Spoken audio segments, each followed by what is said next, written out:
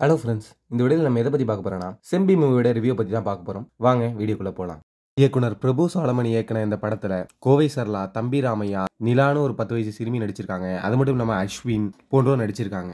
இந்த படத்தோட கதையை பொறுத்த வரைக்கும் பார்த்தீங்கன்னா கோவை சர்லா பார்த்தீங்கன்னா ஒரு மலைவாழ் இனத்தை சேர்ந்த ஒரு பாட்டியாக நடிச்சிருக்காங்க. அவங்களோட ஒரே பேத்தி தான் பத்து வயதான சிறுமி செம்பி இந்த சிறுமிக்கு பார்த்தீங்கன்னா ஒரு பிரச்சனை ஏற்படுது. அந்த பிரச்சனையிலேருந்து எப்படி எதிர்த்து போராடுறாங்க? எப்படி அந்த போராட்டத்தில் ஜெயிச்சு வராங்க? அப்படிங்கிறத அந்த படத்தோட கதையாகவே சொல்லியிருப்பாங்க. எப்போவுமே நம்ம கோவை சர்லா வந்து ஒரு நகைச்சுவையாக நடித்து தான் பார்த்துருப்போம். ஆனால் இந்த படத்தில் அவங்க வந்து ஒரு எண்பது வயசு ஒரு பாட்டியாக நடிச்சிருக்காங்க. அதுவும் ஒரு மலைவாழ் இனத்தை சேர்ந்த ஒரு பாட்டியாக நடிச்சிருக்காங்க. ஆக்டிங்கில் அந்தளவு ஒரு சென்டிமெண்ட்டாக இருக்கட்டும் அவங்களோட எண்பது வயசு அந்த கெட்டப்பாக இருக்கட்டும் எல்லாத்துலேயுமே பின்னிட்டாங்கன்னே சொல்லலாம். அடுத்து இந்த படத்தில் பார்த்தீங்கன்னா அஸ்வின் நடிச்சிருக்காரு. அஸ்வினுக்கும் இது ஒரு நல்ல ஒரு கம்பேக்னான படம்னே சொல்லலாம். இந்த படத்தில் பார்த்தீங்கன்னா அவர் ஒரு வழக்கறிஞராக நடிச்சிருக்காரு.